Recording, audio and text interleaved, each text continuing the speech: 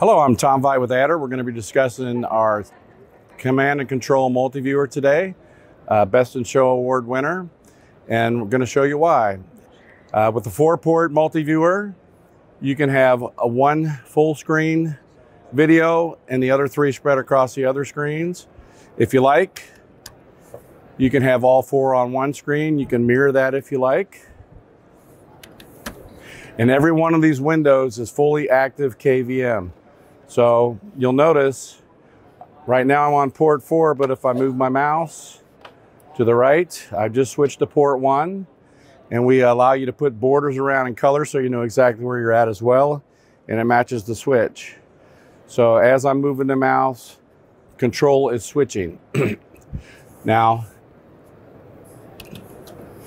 no matter which mode you're in, you can take any one of your screens full screen.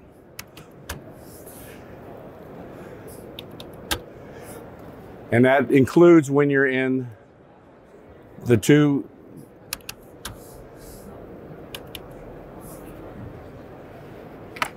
There we go.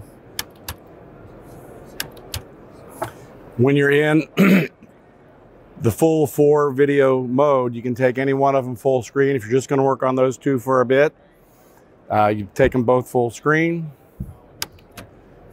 And then when it's time to switch them around. You can take them however you like. You can rotate them clockwise, counterclockwise, set up the way you best do your job. So thank you for watching. Uh, if you need more information, please visit adder.com.